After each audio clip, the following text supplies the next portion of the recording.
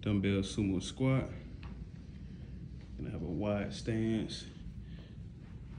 Feet look wider than shoulder width. Toes and knees pointed out.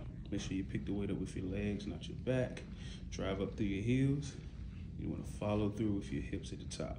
So weight in your heels, hips down and back. Driving your hips and glutes forward.